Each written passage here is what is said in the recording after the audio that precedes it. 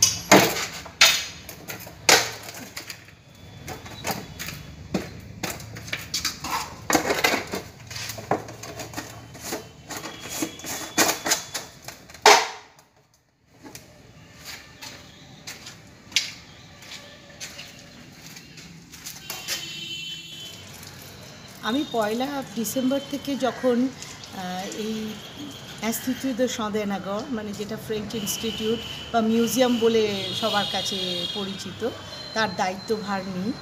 তো তখন থেকে এই জায়গাটা তো অনেক কাজ পড়েছিল।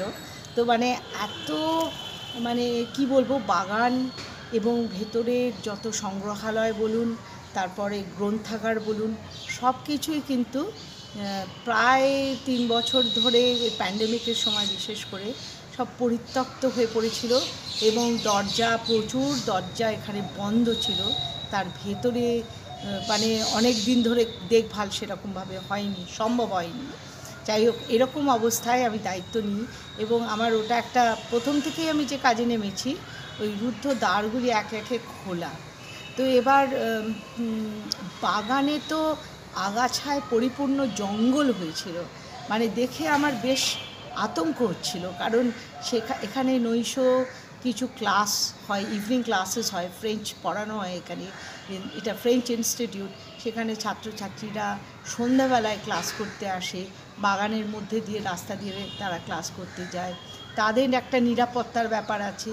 এই জঙ্গল চারিপাশে। এটা মানে সাপেদের তো একটা ন্যাচারাল হ্যাবিট্যাট যেন গড়ে উঠেছে এই জায়গাটা। আর ধরুন আম, এমনকি আমার যারা কর্মী এখানকার তারা আমাকে আসার পর মানে যবে থেকে এসেছি তবে থেকে আমি শুনি যে লাইব্রেরির ঘরে এমনকি ডিপ্লেক্স সাহেবের যে আসবাব যে ঘরে আছে সেই ঘরের মাঝের এমনকি টেবিলের ওপর এবং চারিদিকে মানে বড় বড় সাপ তারা দেখেছে। ফণা তুলে বসে আছে, গোল হয়ে বসে আছে চল চল করে বেরিয়ে যাচ্ছে, এরকম মানে সাপের কাহিনী আমি এসে অবধি শুনছি এবং তারা বেশ আতঙ্কিত, এরকম আতঙ্ক নিয়ে আর কত কাজ করা যাবে? আর বিশেষ করে ধরুন আমি যে অংশে আমার অফিস লাইব্রেরির মধ্যে একেবারে সেই ঘরে ডেটও যেটা, সেটা আবার দেখি ওই যখন এই সৌধটি সংরক্ষিত হয় নব্বইয়ের দশকের প্রথমার্ধে তখন ওই কাঠের ডেটও করা হয়েছিল। কিন্তু এই প্রাচীন এরকম একটি বাড়িতে ভিটেতে ওই ডেটও সেই ডেটও তো ভেঙে চুরে গেছে, অনেক জায়গায় নষ্ট হয়েছে এবং সেখানে ইঁদুর এবং অন্যান্য ব্যাঙ ইত্যাদি সব অনায়াসে বাইরে নর্দমা দিয়ে আসতে পারে। তো সেগুলি তো সাপের খাদ্য, পাশেই আমাদের মা গঙ্গা নদী রয়েছে। তো কাজে কাজে এটা খুব একটা মানে উপযুক্ত একদম পরিবেশ তাদের ডেরা করার, সাপেদের। অবাধ বিচরণ এখানে। তো এবার আমি যখন ওই রকমই এক, একটি রুদ্ধ দ্বার আমি প্রায় সেটা তিন দশক খোলা হয়নি শুনলাম। মানে যখন সংরক্ষিত হচ্ছিল এই বাড়িটি, সৌধটি, তখন সেটা মাল পত্র অনেক জিনিসপত্র নিয়ে একটি গোডাউনের মতন বন্ধ করে দেওয়া হয়েছিল। তারপরে কিন্তু তাতে হাত দেওয়া হয়নি। যে কোনো কারণে সেটা আমি যাচ্ছি না। যাই হোক, সেটা বন্ধ ছিল। সেই রুদ্র দ্বারটি আমি নিজে খুলেছি কদিন আগে। আর সেখানে আমি আমাদের স্থানীয় এক সর্প বিশেষজ্ঞ, তিনি তার নাম চন্দন ক্লেমেন্ট সিং, তার পরিচয় আমি পেয়েছি। তার কথা জেনে আমি তার সঙ্গে আমি যোগাযোগ করি। খুবই সহৃদয় মানুষ। তিনি ব্যান্ডেল থেকে এসেছিলেন, সেই সময় উপস্থিত ছিলেন। তিনি আমার সঙ্গে সঙ্গে ঘুরেছেন, দেখেছেন। আর সেদিনই তিনি কিন্তু ওই আমার লাইব্রেরি অঞ্চলে যে অংশে আমি আর আমার কিউরেটর ম্যাডাম দুজনে আমরা বসি, কাজকর্ম করি অনেক রাত পর্যন্ত, সেই অংশ থেকে মানে সাপের খোলস পেয়েছেন। সেটি কিন্তু অনেক মানুষ থাকাতে তখন উনি আমাদের বলেননি। উনি উনি পরে আমাকে ফোন করে জানালেন যে আমি কবে যাব। গেলে আমায় নৈশ অভিযানে যেতে হবে, কারণ ওরা সব নকটার্নাল মানে মানে প্রাণী, তো ওরা রাতে বেরোয়, নিরিবিলিতে বেরোয় শিকারের খোঁজে। তখন ওদেরকে দেখা যায়। তা না হলে তো ওরা ঘাপটি মেরে ভেতরে বসে থাকে, জানা যায় না। তো এবার আমি তখন আমার ক্যাপাসিটি থেকে আমি বললাম যে, আমি নিজেও থাকব উপস্থিত, আপনি আসুন। তো তার ওখানে অবস্থান করার ব্যবস্থা করে দিলাম। গতকালই এক প্রথম অভিযান চালানো হলো। আমি অনেক রাত পর্যন্ত ছিলাম। কিন্তু আমি বাড়ি ফেরার পর উনি আমাকে ছবি পাঠালেন। তিনি দু দুটি কালাজ সাপ এবং সেখানে যে ওই ডেটোর আড়ালে আরও সাপ নেই কেউ বলতে পারে না আরও অনেক আছে এবং বাগানে যত্রতত্র চারিদিকে গর্ত রয়েছে ইত্যাদি। এটা মানে সাপেদের খুব থাকার মানে উপযুক্ত একদম আইডিয়াল পরিবেশ। তো ওনাকে আমি এটা বলেই রেখেছি যে আপনি স্ট্যান্ডিং ইনভিটেশন দিয়ে রেখেছি, যে আমন্ত্রণ জানাচ্ছি আমি আমার উচ্চশিক্ষা দপ্তরকেও আমি জানাব যে এরকম একজন সহৃদয় মানুষের আমাদের দরকার যিনি আসবেন, জানবেন, তার মতন করে এবার এই জায়গাটা একটু বিপন্মুক্ত করবেন। কারণ এখানে এত মানুষের সমাগম হয় এত সাংস্কৃতিক অনুষ্ঠান হতো আগে সেগুলো বন্ধ হয়ে গেছে সেগুলো আবার আমি চালু করব পুনরুজ্জীবিত করব। তো অনেক মানুষের সমাগম এখানে আছে। তো তারা তো নিরাপদে থাকবে আর যেসব কর্মীরা কাজ করছে তারা নির্ভয়ে কাজ করবে কী করে এইরকম আতঙ্কে।